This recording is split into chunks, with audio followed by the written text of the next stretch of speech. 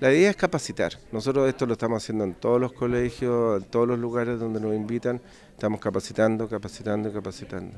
Todos los jóvenes que tienen puntaje no, de notas, su nota individual es superior a la nota promedio de su colegio, tienen más puntaje ranking que puntaje NEM.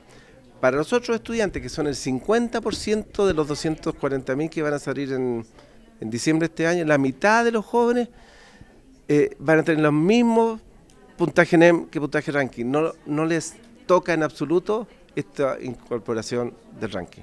En absoluto, cero. No es que un poquito, es cero.